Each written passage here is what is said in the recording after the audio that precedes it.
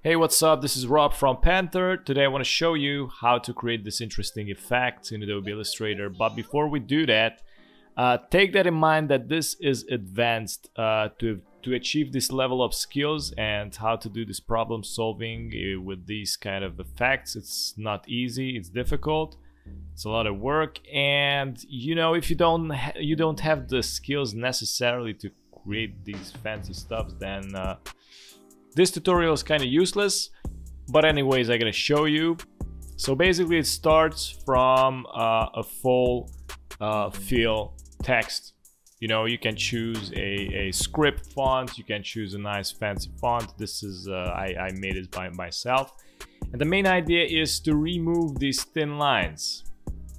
Okay, so you remove these thin lines and it's gonna be empty. So basically it's cut, as you can see this part. You need to basically cut out every part so you can add the blend.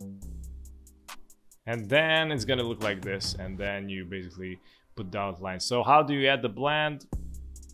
You select one of these uh, cutout pieces and we're gonna go somewhere where is the if I gonna find it there you go the scissor tool or you press the C. And I'm going to cut out this area. Press delete, delete again. As you can see, this two doesn't touch each other. Now they are separated. I'm gonna do the same thing with this one.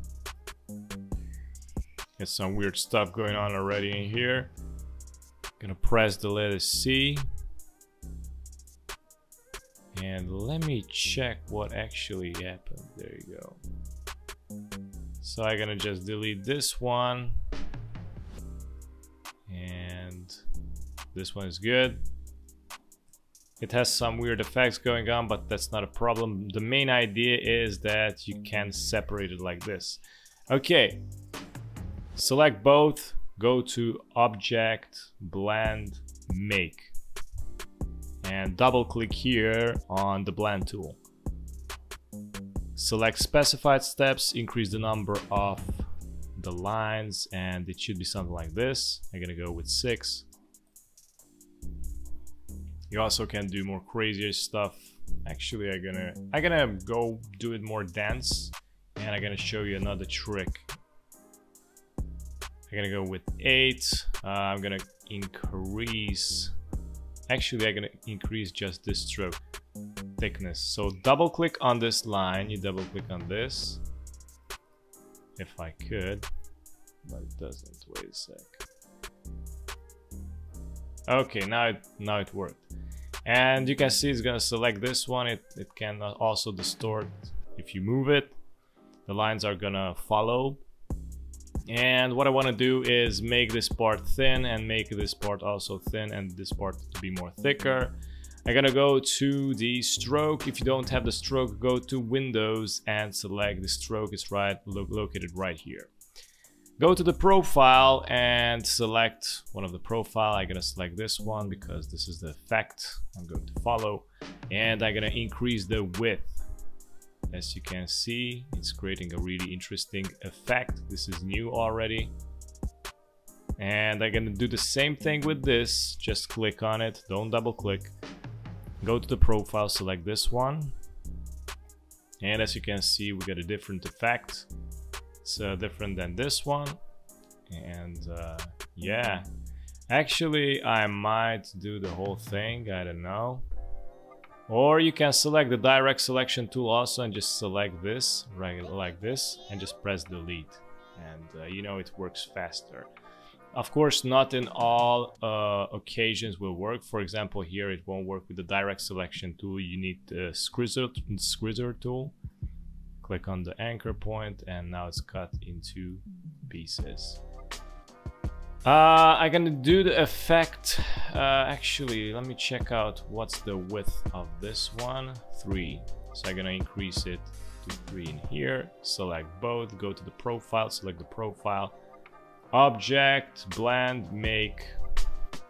How many blend effect was here? It was like eight. So I'm gonna go with this also to eight. specified steps 8 click OK and uh, this is even a more stylish kind of style rather than this one. This one is a little bit more boring but also still beautiful. So we're gonna time, time lapse this part and uh, you know see what happens at the end.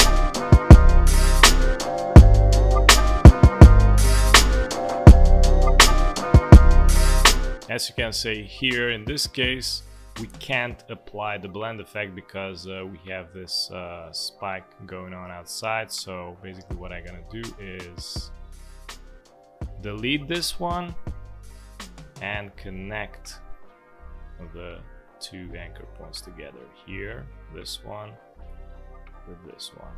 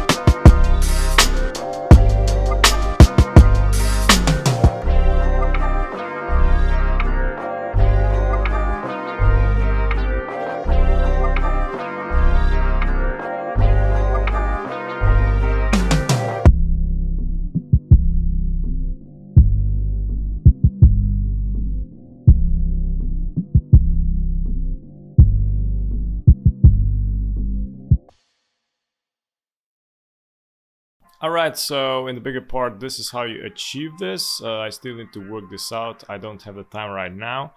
Uh, that's a different problem. And basically, you just apply the outline right in these areas, which means... Um, let me move this here. I'm gonna create a new copy.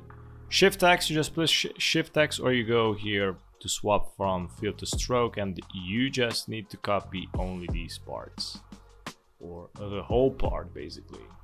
It really depends on the situation. This is a complicated approach, but as you can see here, it got perfect and it just goes nicely around and around. Of course, this is the not correct version because I just edited full one, but as you can see, everything flows together. And basically this is it. This is how you achieve this fancy kind of line effect with blend tool again. Alright, thanks for watching. Don't forget to subscribe if you're new on the channel. Hit the notification bell so you get notified with daily updates. And check out the other videos as well. Thank you. Bye-bye.